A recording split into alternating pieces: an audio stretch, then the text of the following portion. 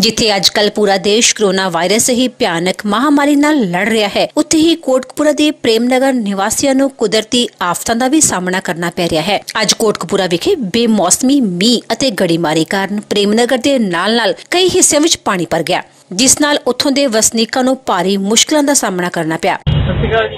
ਮੈਂ ਤੁਹਾਡਾ ਆਪਣਾ ਰੋਹਿਤ ਯਾਰ ਪੱਤਰਕਾਰ ਕੋਟਰਾ ਫਰੀਦਕੋਟ ਤੇ। ਅੱਜ ਅਸੀਂ ਖੜੇ ਹਾਂ ਪ੍ਰੇਮ ਮੁਹੱਲੇ ਵਿੱਚ, ਜਿੱਥੇ ਹਰ ਆਉਣ ਜਾਣ ਵਾਲੇ ਨਾਗਰਿਕ ਪਾਣੀ ਦੇ ਜਿਹੜਾ ਹੈਗਾ ਭਰਿਆ ਹੋਇਆ, ਉਹਦਾ ਸਾਹਮਣਾ ਕਰਨਾ ਪੈ ਰਿਹਾ। ਬਹੁਤ ਹੀ ਮੁਸ਼ਕਲ ਆ ਰਹੀ ਹੈ, ਤੁਸੀਂ ਦੇਖ ਸਕਦੇ ਹੋ ਨਜ਼ਾਰਾ।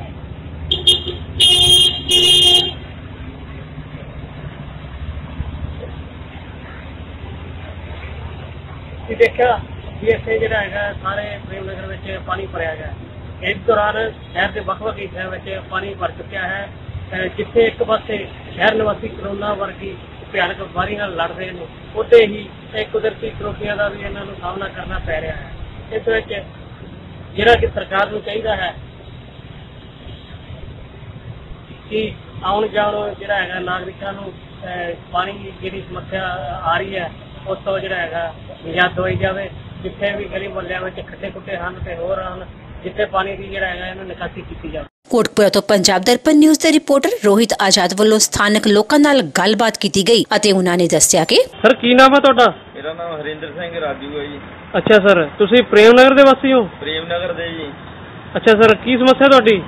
ਆ ਸਾਡੇ ਆ ਦੇਖ ਲਓ ਸਵੇਰ ਦਾ ਮੀਂਹ ਪਿਆ ਜੀ ਤੇ ਹਰ ਵਾਰੀ ਜਦੋਂ ਮੀਂਹ ਪੈਂਦਾ ਇਸ ਤਰ੍ਹਾਂ ਹੀ ਪਾਣੀ ਖੜਦਾ ਜੀ।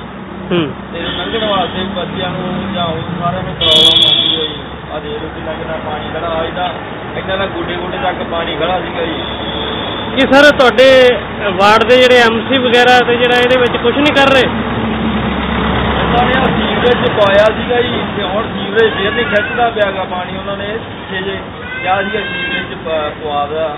ਉਹਨਾਂ ਨੇ ਸਾਰਾ ਗਲੀ ਦਾ ਪਾਣੀ ਇਹ ਸੜਕ ਨਾਲ ਨੀਵੀਂ ਹੋਈ ਪਈ ਆ ਥੋੜੀ ਜੀ ਸੀਵਰੇਜ 'ਚ ਪਵਾ ਦਾ ਇਹ। ਪਾਣੀ ਮਤਲਬ ਹੁਣ ਸੀਵਰੇਜ ਵੀ ਖਿੱਚਦਾ ਨਹੀਂ ਪਿਆਗਾ ਕੋਈ ਸੀਵਰੇਜ ਦਾ ਮਸਲਾ ਹੱਲ ਹੋਵੇ ਤਾਂ ਫੇਰ ਹੀ ਗੱਲ ਬਣੇ। ਕੀ ਸਰ ਕੀ ਮੰਗ ਹੈ ਤੁਹਾਡੀ? ਮੰਗ ਇਹੀ ਆ ਜੀ ਸਾਡੀ ਬਾਤ ਗਲੀ ਦੇ ਵਿੱਚ ਪਾਣੀ ਨਾ ਖੜਾ ਹੋਵੇ ਵੀ ਆਰਾਮ ਨਾਲ ਹੀ ਲੰਘ ਸਕੀਏ, ਕੋਈ ਪਾਣੀ ਦਾ ਨਿਕਾਸ ਹੋਵੇ ਕਿਵੇਂ ਨਾ ਕਿਵੇਂ, ਜਿਵੇਂ ਮਰਜ਼ੀ ਸਰਕਾਰ ਚਾਹੇ ਮਸਲਾ ਕਹਿੰਦਾ ਸਹੀ ਕਰਕੇ ਦੇਵੇ ਸਾਨੂੰ। ਕੋਟਕਪੂਰਾ ਤੋਂ ਰੋਹਿਤ ਆਜ਼ਾਦੀ ਪੰਜਾਬ ਦਰਪਣ, ਨਿਊਜ਼ ਲਈ ਵਿਸ਼ੇਸ਼ ਰਿਪੋਰਟ।